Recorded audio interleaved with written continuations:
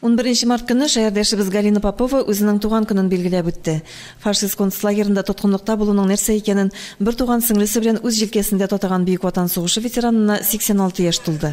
Аны туган көне белән котларга үзәк торак милекчеләре ширкәте вәкилләре килде. Я вам желаю здоровья, чтобы вами всегда восхищались окружающие люди, чтобы в семье было мир, согласие, благополучие.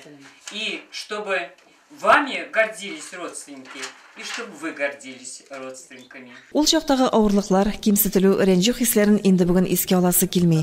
Туган көнен авыр хатирәләрдән арынып торып, тыныч тормышыбызга мәдхия җырлап, балалар, оныклар белән аралашудан ям һәм тем табып үткәрергә тели Галина Григорьевна. Инде өч баладан берсе Антонина сыгына калган, шуның хәстәрендә яши. Добрый, ласковый, любит своих внуков, правнуков. Во всем всем помогает. Сейчас просто старенькая, мы теперь помогаем, ухаживаем. Хезмәт кенәгәсендә бер генә язу 39 ел гомерен гидроэлектромонтаж оешмасына биргән Галина Попова. Комсомол путевкасы буенча туган якларыннан зәйгырсын төзергә килгән. Шушында гаилә корып төпләнеп калган балалар, оныклар үстергәннәр. 13 оныкчыгы бар. Теләге без күргәннәрне аларга күрергә язмасын. Всегда говорю и с этой же мыслью, чтобы не видели наши дети, внуки и правнуки то, что видели мы.